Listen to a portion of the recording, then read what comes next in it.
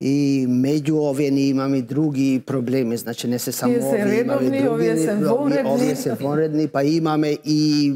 е, проблеми во другиот дел во со човечките ресурси што јас ги сметам дека покрај е, е,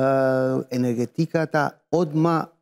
по втор план доаѓа кај нас и ресурски, е, е, човечките ресурси кои за жал кај нас веќе све помало помало имаме и тие што ги имаме тешко ги одржуваме, ги моиме да ги држиме поради